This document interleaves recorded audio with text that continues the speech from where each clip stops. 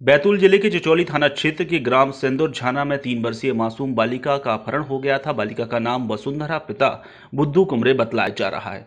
घटना 15 मार्च की है, जब घर के आँगन में बालिका खेल रही थी और जहाँ उसका अपहरण हो गया था। वहीं तीन दिन का हवाला देते हुए अब जैस आदिवासी युवा संगठन ने ज्ञापन सौंपा है।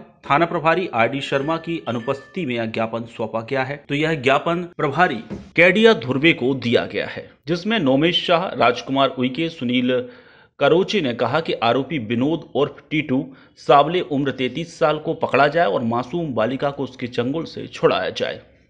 दो तीन दिन पहले हमारे गाँव में एक अज्ञात व्यक्ति आया।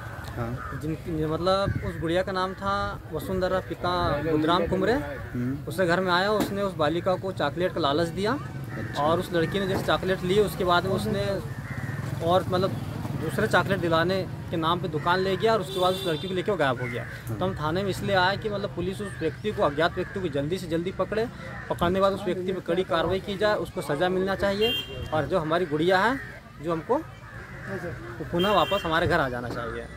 तो हम इसलिए थाना आए थे ताकि पुलिस प्रशासन उस पर जल्दी से जल्दी कार्रवाई करे और उस पर ठोस सजा दी जाए।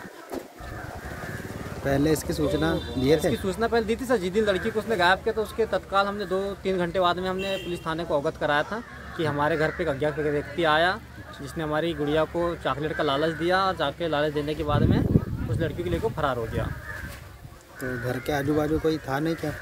सर, उस समय घर के आजू कोई नहीं था, सर। ग्राम चंदूजना की तीन वर्षीय बच्ची को, बच्चे का अपहरण हो गया। इस संबंध में हमने आज थाने में जाकर ज्ञापन दिया और पुलिस प्रशासन से अनुरोध करते हैं कि तत्काल उस बच्ची को उनके परिजन मतलब ढूंढ कर परिजनों को सौंपा जाए और आरोपी ने बच्ची को अपहरण किया था। उसे तत्काल कार्रवाई की जाए। जी कार्रवाई करने की मांग किया जैस जैस संगठन की ओर से। जय संगठन की ओर से।